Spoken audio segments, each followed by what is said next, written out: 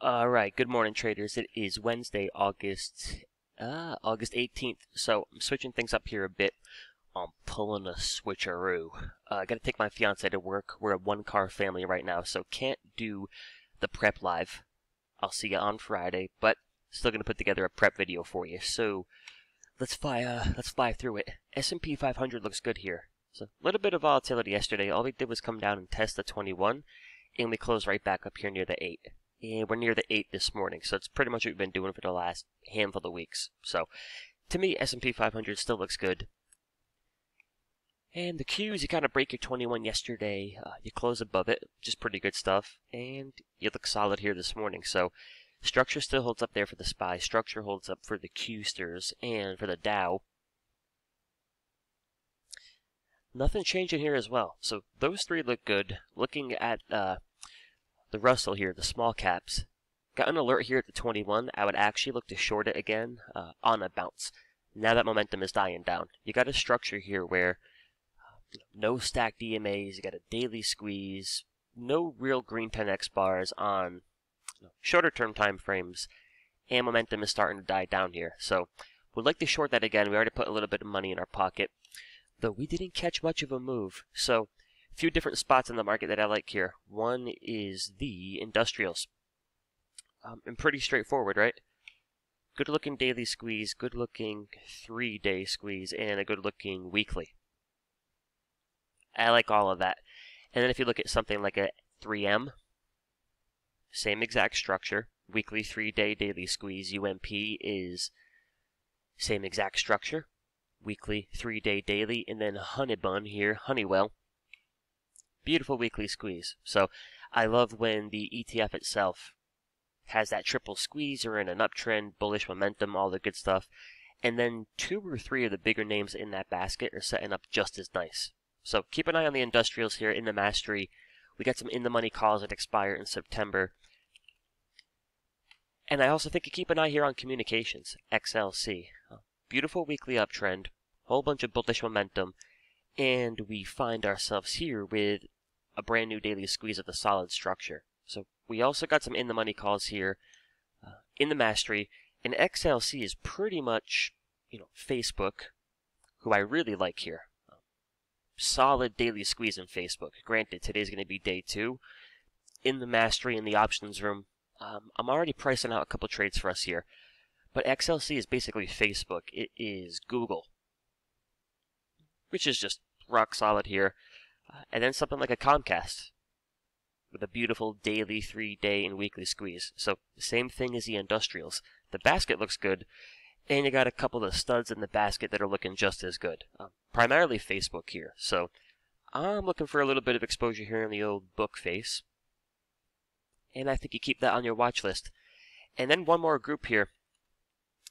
Uh, not the most exciting group, but real estate, IYR. So you do have a great daily squeeze a lot of bullish momentum, a really solid uptrend. And if you look at a few of the names in that basket, AMT here uh, looks really bullish, really solid. You've got PSA, which is public storage.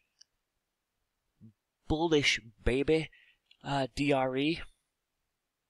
Right, so, uh, are you picking up what I'm putting down here, folks? I like squeezes in the ETF itself, mixed with a bunch of good-looking squeezes in uh, the cast of characters in that sector. So, real estate, industrials, and communications here, I think look rock solid. So, communications, you're looking at Facebook, Google, Comcast. Industrials, you're looking at 3M, UNP, Honeywell, and then real estate, I think you just look at IYR. Uh, there's not too much liquidity in there. So those are a few places we got positions here uh, in the mastery. We got put credit spreads in IYR, and then calls in the industrials and the communication sector. So that's what we're rocking with here. Gonna keep an eye on Facebook. And then for Tesla, so you get some news here this week. Um, to be frank, I'm not even sure what the news is about. Didn't really look into it. I still like the structure. So you're coming down here towards your 50 yesterday. You broke it temporarily. Good close back above the 50. We're pretty much at the end of the day, it kind of made an average move. So that Keltner channel, that big fella right there, that's just measuring one average true range move underneath and obviously above the 21 EMA. So yeah, we broke that at one point yesterday, but all said and done, kind of an average move there. So I think if you can look at it from that perspective, and then my perspective is I'm trading the weekly squeeze here. Uh, and not a damn thing changed about the weekly. At all. Three days squeeze, which I'm a fan of. Nothing changed about that at all either. So sure, uh, I get you. If you're slinging some out the money calls that expired this Friday, that pullback probably sucks. Uh, if you got put credit spreads down at 640 that expire in September, and you're playing the weekly here, I think you still got to be a big fan of old Tesla. So, a couple things there uh, that I'm keeping an eye on, a couple open positions, and then looking at the semis here real quick. You're getting a pullback here. You did close under your 50, so we'll keep an eye on that in the short term. But the weekly squeeze looks really good here. Big fan of the weekly squeeze. So I think Nvidia has earnings tonight. See how that goes. Uh, AMD's got a great looking weekly squeeze that is already fired long. And I bet you if we just stay within this range here, uh, we're going to give birth to a brand new daily squeeze. Well, it's going to give birth to a brand new daily squeeze. And this is just about as bullish as it gets. So give me a daily squeeze here. I shall trade it. And then just one last thing here. So for those of you that took my class uh, a couple weeks back there in July, if you did the elite portion of the live trading, our last open position here from the class is Broadcom. So this position expires next Friday. We have put credit spreads down here at 470, and you're still holding the structure in a daily squeeze. So I think we got a small profit at the moment on this. We get a little bit of a bounce here. I'll send out the alert in the classroom. We'll take it off for 60 70% of max profit. And then we're wrapping up a really good class. So between the pro and the elite live trading, Broadcom goes good here. We're going 5 for 5 on class trades, which is awesome.